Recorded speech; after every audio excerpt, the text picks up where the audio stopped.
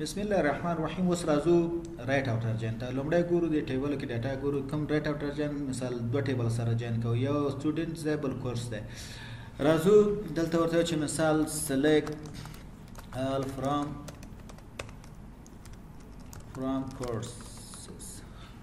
دا ران کو ګورل ته مثال د دې ډاټا په دې کې موږ ګوره دلته ما اس کیو ایل ایم اس اس کیو ایل سرور لرو دې کې مثال شپږم آی ډی ده دا اس آی ډی چې مثال د دې سټوډنټ ټیبل سره د آی ډی سره لینک دی مثال دا فارن کې د چش لپاره د سټوډنټ ټیبل کې د آی ډی لپاره اوس کرای شو مثال ورته چې سټوډنټ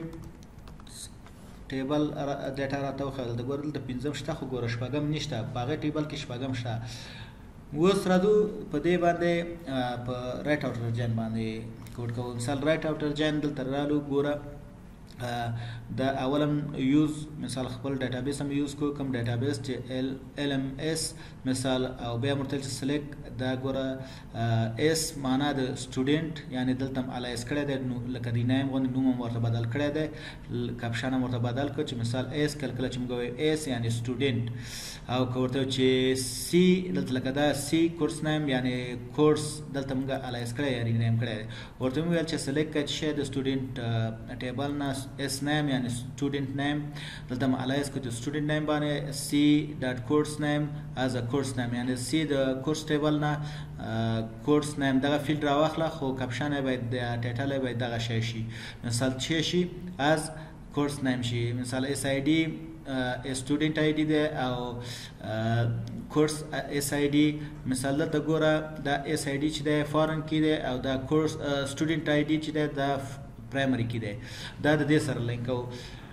ورته چې فرام د کوم ټیبل نه راواخله د سټوډنټ راوخلا او ورته چې دغه الایس ک په اس باندې رائټ اوټر جان تنا رائټ جان هم لیکل شي او رائټ اوټر جان کدا لری کوي ام لری کولای شي او کورای ولې ام راوستي شي خو رائټ جان مثال شارکټ لاند طریقې ده کو آوټر جن و سروس ولی که هم کم مشکل نشته سونزه نشته ورته چې جن کا کم ټیبل کورسز مثال دا په لیفت کې واقع شو او دا چې شو په رائټ کې واقع شو مثال ورپسې شو اول ټیبل دا چې دا لیفت لیفت کې واقع کی دا دویم چې دا مثال دا په رائټ کې واقع کی یا دلته دا پاس را ولم دلته دا چې شو لیفت شو او دا چې شو رائټ شو بیخي و تاسو ته واضح شي مثال دلته ورته هم چې